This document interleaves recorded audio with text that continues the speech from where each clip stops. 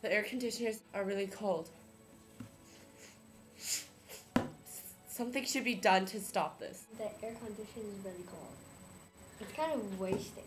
I think it is reasonable for the school to just, you know, use the uh, window instead of the, uh, you know, let some fresh air in to the room. We have done surveys and interviews about the overusage of air conditioning, and around 75% say that the air conditioning is too cold.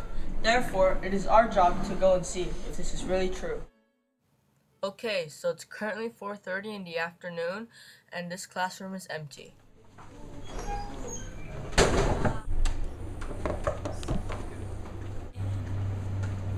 So here, in this empty classroom, we see that the air conditioner is still on full blast, 18 degrees on high. This happens every day, and the air conditioner is turned on from 2.35 all the way to 5 o'clock. The security guards would come and turn it off, but that's 2 hours and 25 minutes of non-stop high air conditioning. Alright, now that this is confirmed, we should go find the teacher and do an interview with her. Let's go. So yesterday, we stayed after school, and we found that you left your air conditioner on at full blast, even after school. Do you do this every day? And why would you? Yes, but what's wrong with that? It's just because I forget. And it's no big deal, it doesn't matter because I don't have to pay for the bill anyways.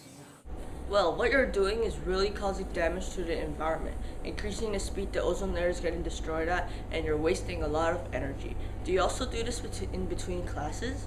I never knew that. And yes, I do. It, it makes the room nice and cool for when I get back in, and when the students come back in too. I see. Thank you for the interview. We'll see you soon. So, as you can see, most people turn it on high because they, they want to feel relaxed and to cool up the room.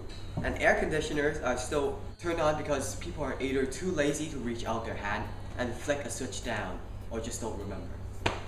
To solve this issue, we've come up with a solution for each of the two problems we have. For the intensity of the air conditioner, we can have a setting on the air conditioners that restrict the temperature of the air conditioning. For issues of air conditioners being turned on for too long, we can have reminders posted on the doors of the classrooms, telling the people to remember to turn off the air conditioners.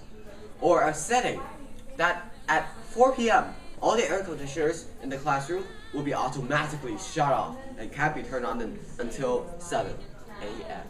Even if these rules and restrictions can't be applied, you can make a difference by simply turning an air conditioner warmer if you're cold and remi- reminding your teacher to turn it off when you're leaving the classroom.